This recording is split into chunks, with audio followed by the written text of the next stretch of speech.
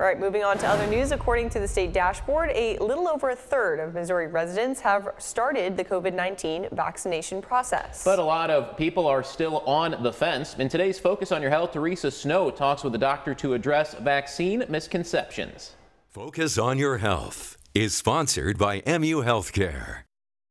Joining me now is Dr. Margaret Day, a family medicine physician at MU Healthcare's Keene Family Medicine, and she is co-chair of our COVID-19 vaccine committee. I know I live in a rural area that a lot of people have stepped back and said, I'll wait and see. Who is eligible for the vaccine now? Who should be stepping forward? Yeah, so all age 16 and older are now eligible for the vaccine. So we encourage you to sign up to get vaccinated. There are a lot of misconceptions, a lot of reasons why people might be hesitant. Some think it may be expensive. Is there a charge?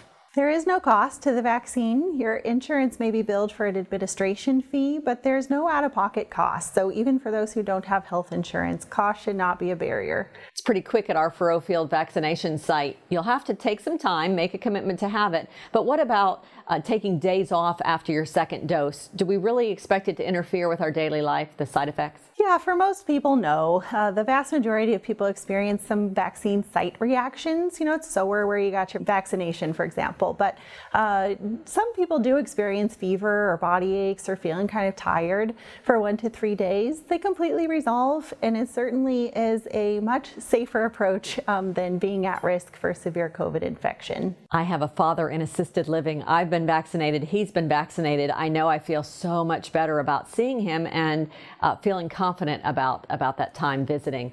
What do you see in the future? Is that a benefit of getting the vaccine? It is, yes. There's guidance now that, you know, small groups of completely vaccinated individuals, say one household going over to another household, um, even without masks now, is thought to be a very low risk situation. So uh, we are starting to see, you know, evidence of as more people get vaccinated, uh, the closer we can get back to uh, a new normal. We appreciate that. Thank you very much, Dr. Margaret Day. And with Focus on Your Health, I'm Teresa Snow. Focus on Your Health has been sponsored by MU Healthcare. For more tips on talking about vaccination with your loved ones, you can visit the MU Healthcare Facebook page. Dr. Laura Morris will answer questions there live today at 2 o'clock.